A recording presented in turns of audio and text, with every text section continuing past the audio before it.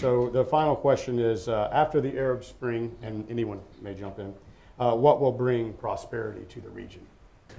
I, I think I'm, I'm, of, the, I'm of the belief, uh, both as, a, as, a, as an individual and as, a, and as someone who's looked at this question over the last 10, 15 years, that societies that are better governed, that are well governed, have the best hope of ensuring sustainable long-term prosperity. I side with that premise.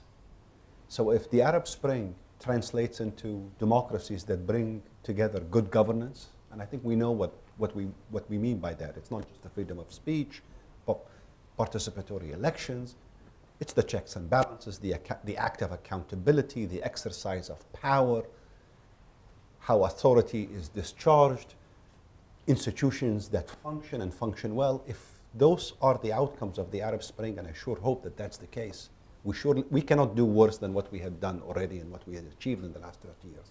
So if that is the case, I think the countries that are going through this change are likely, uh, with time, to set in foundations that will bring about long-term economic prosperity. And I go back again to link it with something that was said earlier, the first question. Yes, in the short term, there will be a lot of instability, a lot of uncertainty, a lot of upheaval. Things will not go well. Everybody wants higher wages. Everyone wants Everyone has higher expectations, but with time and to the extent that we can manage this transition and set in motion and put foundations for good governance, I think the countries will reap the benefits of long, uh, more sustainable uh, and more guaranteed long-term prosperity for, for their people and also for their neighbors, and I think for the world as, at large. Go ahead, please. I think we have to ask ourselves, I mean, is democracy a means to an end, or is it a a or is it an end by itself? Is it just the right thing to do regardless of outcomes? So what happens if new democracies don't perform as well on economic indicators? Is, does that make us less supportive of democracy? Um, I think what we also have to remember, I mean, it's perhaps one of the ironies of the Arab Spring that what were the two real economic success stories in the Arab world, at least according to the IMF and the World Bank and all of that? Egypt and Tunisia, the two countries that fell to revolution. Egypt, the last five years under Mubarak, had between 5 to 7% of annual GDP growth. And it was getting accolades from international institutions for being the best place to do business in the Arab world. People were saying the same things about Tunisia. So when we talk about economic growth and economic development, what are we really talking about? Okay, so what are the other uh, factors that need to be addressed? Please be optimistic. Uh, the last note. I, I, was going to be, to be, I would be optimistic, but you know, you suppressed me now.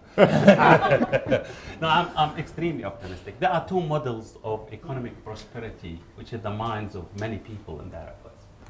The Chinese one, which means you know, economic reforms without political reforms, and the Syrian tried to adopt this kind of model, and it didn't work for them, and you can see the outcome. And you know, economic reforms or prosperity which based on democracy, which we are hoping for now. I believe now with when those dictators or dinosaurs like Hosni Mubarak, I don't know why he actually accommodated uh, or accumulated about nine billion dollars. What what he's going to do with them now in prison? So anyway, so once we get rid of corruption once we have a good governance, for example, once we have transparency, once we have accountability, I think this will create the best environment for investment. And this investment, we shouldn't go to IMF, honestly. We shouldn't go to uh, the World Bank. We should come here. We should go to, to Libya. We should go to you know uh, oil producing country. We should go to Arab sovereign funds. We have sovereign funds which has trillions of dollars. One thing Gallup uh, discovered in our research, and this is just preliminary, but there is an empirical link between social trust and entrepreneurship. So the more people trust their community to be fair, to, that they can trust a business partner, that, um, that the contracts will be honored, the more likely they are to want to start a business, the more likely you know, you'll create jobs and so forth. So there is a link between good governance social cohesion and economic development. And I, I, I go back to everything everyone has said.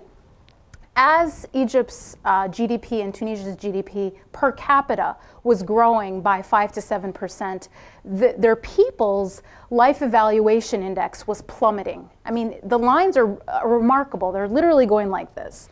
And it was at that bottom point that, that we found, you know, the, the eruption.